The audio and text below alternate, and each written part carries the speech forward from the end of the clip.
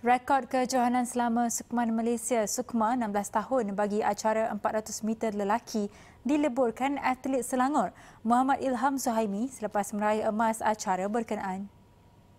Saingan 400 meter ini menyaksikan tiga atlet perempuan iaitu Ilham, Syahrimin Saimon dari Sabah serta tuan ketua rumah Chia Yao Chung. Permulaan baik dilakukan oleh ketiga-tiga atlet ini bersaing hebat menuju baki ke 100 meter garisan penamat. Ketika inilah Ilham mengatur langkah untuk jarakkan kedudukan sekaligus tamatkan saingan dengan merekodkan 47.02 saat. Catatan itu mengatasi rekod kejohanan 47.34 saat dilakukan oleh bekas Padi Kebangsaan Muhammad Zaiful Zainal Abidin pada edisi 2002 Kuala Lumpur. Yao Chun terpaksa berpuas hati di kedudukan kedua manakala Syahrimin melengkapkan pungutan pingat. Okay, tumpuan saya untuk merebut pingat.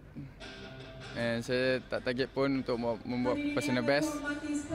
And ini satu satu kejutan untuk saya. Terima kasih yang menyokong saya daripada luar dan dalam. Ibu bapa saya, coach-coach dan kawan-kawan saya. Terima kasih banyak kerana sokong korang saya berada di sini and atas